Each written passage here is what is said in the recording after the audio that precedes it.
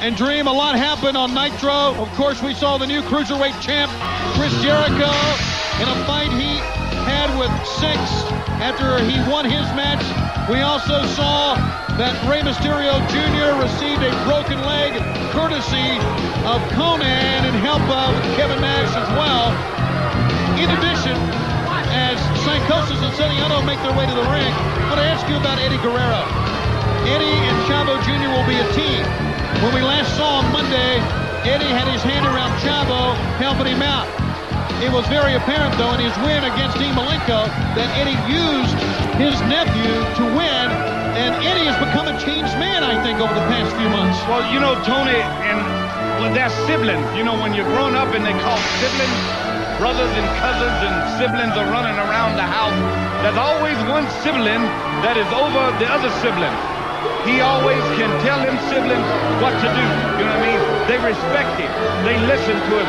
No matter how bad he has become. Eddie Guerrero, one of the finest athletes to ever lace on a pair of traditional boots, has gone bad. And I really believe deep down, Chavo don't know which way to go yet. You know what I mean? He needs some guidance to say, you know, the, the lead sibling, see what I'm saying, the, the, the thing I made there? The lead sibling is really telling him and dictating to him what to do. Yeah, they walked out together. You know, Chavo really was instrumental in causing that defeat for Malenko. Not even knowing it, but That's true. yeah, he's gone bad. And, and Eddie does not. Eddie doesn't need that. He No. doesn't need to use someone to win a match. We know that he can win on his own accord. Let me ask you this then. Hogan had the world in the palm of his hands. He ruled the entertainment world. He didn't need it either. But what did he do?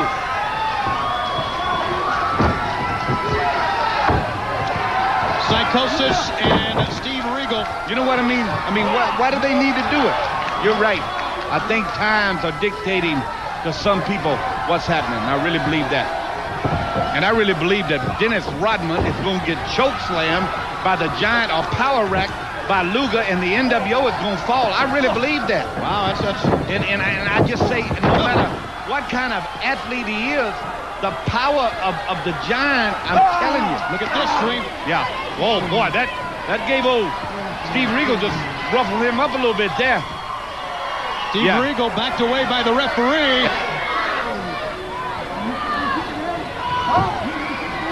Rolling in, Sonny up. He's trying to pay the referee off. Get out of here. You're out of here. Go on. You're He out tried to pay the referee off. Tony. Otis gonna cost you more than that. Go. You're out. Go on. Back dressing room. Done with it. Get back to dressing room. And the referee is running him out. Well, sure he should. He tried. If you're going to take money for something, don't do it in public. Yeah, don't put it in front of a camera. Exactly. And you see what happened right I've, here, too. I've never seen that, ever. Someone tried to so blatantly buy the match. Well, the match continues here. Psychosis Wow. nails Regal. And he's got him going, too. This thing has turned into a, a little nightmare for Steve Regal. I got it. Oh, Hurricane man. Put He's it got, on. he's got him, Tony. Yeah, but he hit very hard too. Look at this. Slow to make a cover, Psychosis, and Oh, man. that cost it. Only at two counts says Mickey Jay That time Psychosis, I think Psychosis hit harder than Regal, or he would have been able to make a quicker cover. Psychosis from the top, using the top rope as a springboard for a forearm shot, and he's still holding the lower back there. Yeah, but he's in control, and that's the main thing that's a stunning thing to me is he's go ahead and get control of this.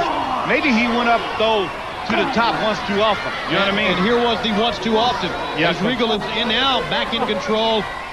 And he's up there. I don't think I've ever seen Regal on the top rope like this. Oh!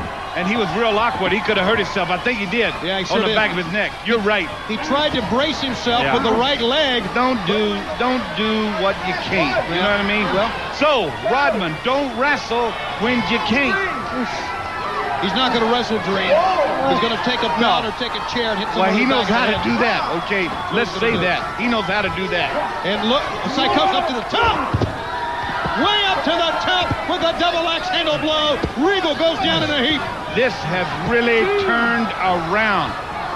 I know Psychosis got a lot of good tools and skills, but this is a stunner for me to see Steven Regal here on the beaten up end of this match. And he is really in control. Psychosis is. Can he put him away? That's the, that's the true mark of a true champion.